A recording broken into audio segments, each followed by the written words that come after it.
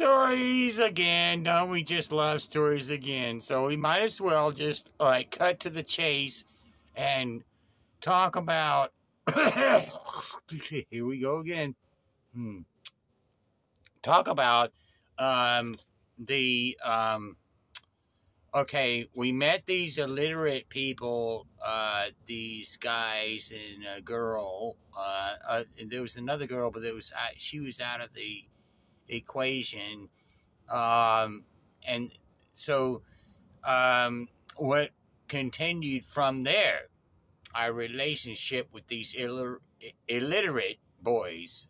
Uh, but what what they that I'm not trying to put it. Nobody should put anybody down for being illiterate.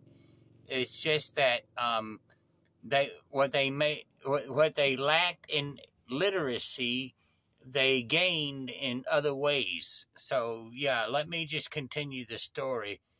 Uh, let's see now. We left off at uh, where did we leave off?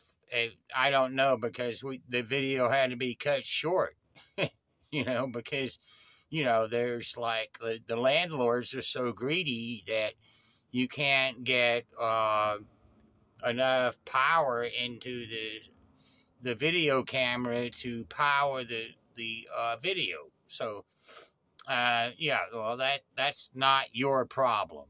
Okay, so anyway, uh, we we wound up uh, every Friday afternoon, we would pack up whatever camping gear or fishing or hunting, uh, depending on the season. If it's spring, it's going to be a lot of fishing, and in the fall, it's going to be some hunting.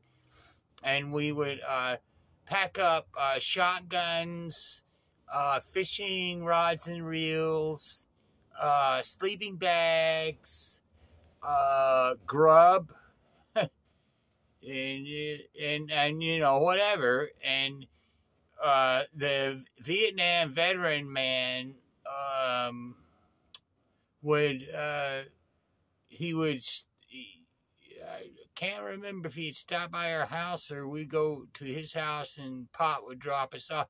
Somehow or another, everything was thrown into the back of a 1964 um, Ford pickup truck. I think it was a Ford. Uh, could have been a Chevy. Uh, it was one of those two.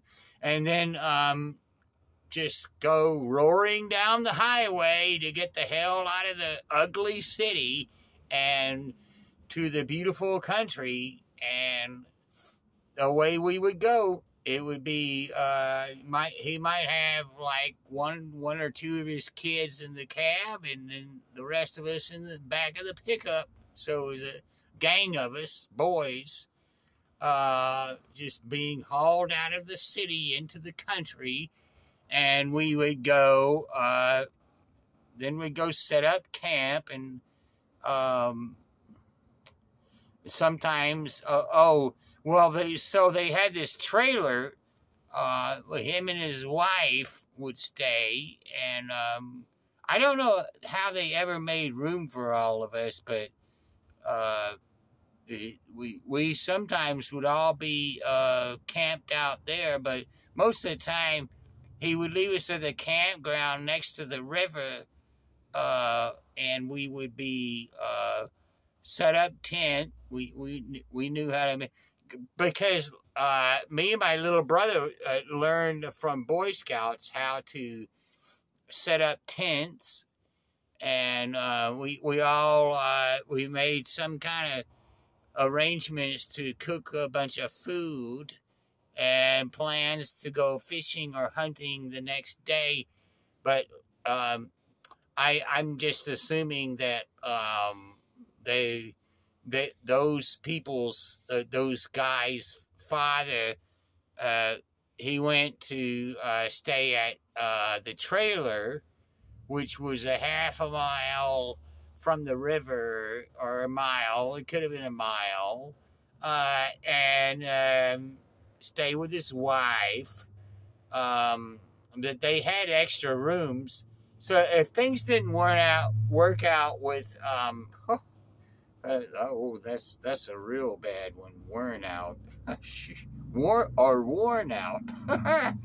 any anywho, uh, so that it, the uh, older girl, the firstborn child, uh, the girl, if things didn't work out, uh, she could always, you know, return and have a back room in the trailer. Uh, and they had a, they, like I say, they had a uh, some kind of operation where they were competing with another um, operation that sold mostly uh, fishing tackle, they call it, uh, and this, this snacks and Coca Cola and B- BS that they would sell, and um, they would they would be uh, it, and I, I remember uh, staying in that trailer. I don't know how they made room for all of us, but they did. And um, then, uh, so yeah, time to cut it short. It's six. Bye.